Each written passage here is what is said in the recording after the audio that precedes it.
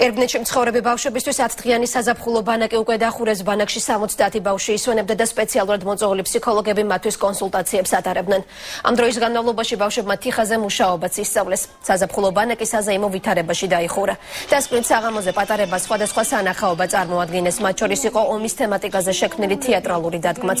პროექტი გორის მუნიციპალიტეტმა და არასამთავრობო ორგანიზაცია თანხმობამ განახორციელა.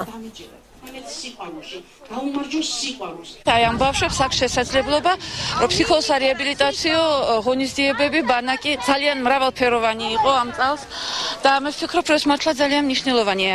ძალიან დაგვეხმარა გამგეობა რომელიც ნაწილობრივ დააფინანსავეს. მე მომეწონა ეს ბანაკი რადგან ძალიან ბევრი რამ შევისწავლეთ. მათ შორის ციხაზე მუშაობა, თექით მუშაობა და ამით ძალიან ბევრი რამე გავაკეთეთ.